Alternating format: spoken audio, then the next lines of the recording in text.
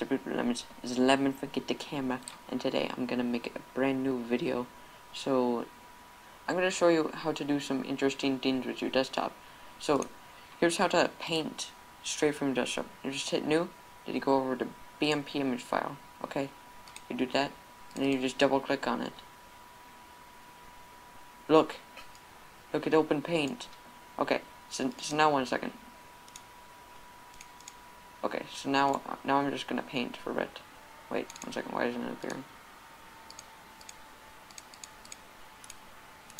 Uh Okay, there it is. Okay, so let me just expand this a little bit so you can see it.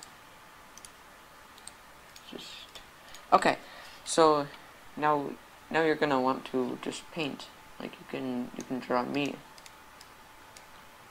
To me. Don't you look great in this?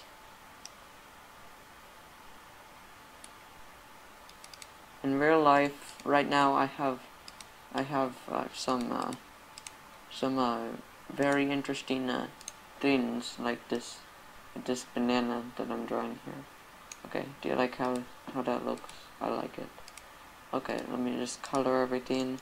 Add a nice green background. Okay, good. Now you can save it. So now we can, uh, oh no. Oh no. Windows help and support. Okay guys, we're gonna, we're gonna zoom in on this. Okay guys, this is Windows help and support. We're getting help content. There's a loading bar. Okay, using Paint. Paint is a feature in Windows 7 that you can use to create drawings on a blank drawing area or in existing pictures. Many of the tools used in Paint are found in the ribbon, which is near the top of the Paint window. The following illustration shows the ribbon and other tools of the Paint. Okay. Drawing lines. You can use several different tools to draw and Paint. The tool you use in the options you select determine how the lines appear in the drawing.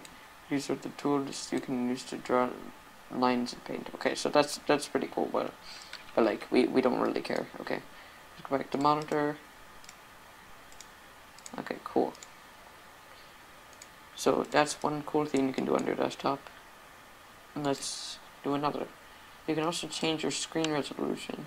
This one's really fun. I like doing this one. So you can just go up here and you can bring it down to 800 by 600 and you just hit apply. See guys? Look, look at how funny everything looks now. Look, now everything's, now everything's small and funny looking. Like, you, do you see this, guys? I'm like laughing just thinking about it. But, like, it doesn't really want to fit to the screen, so let's, let's go back to, to, uh, to my normal screen resolution, screen size. Okay, keep changes. Okay, let me show you a few more things that you can do in your desktop. You can also uh, refresh. So like in case like something happens, you can refresh it. You can also create brand new text documents, and you can also create new folders and shortcuts for games like Minecraft. Uh, I don't know where that one went. You can also create a compressed zipped folder and Word documents. And for those that have Adobe Flash, you can make you can make Flash ActionScript files, which is dank.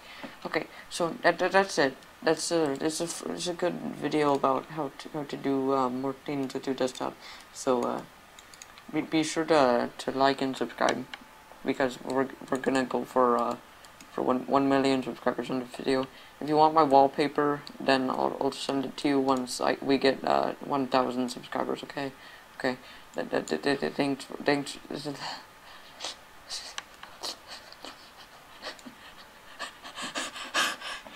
Thanks for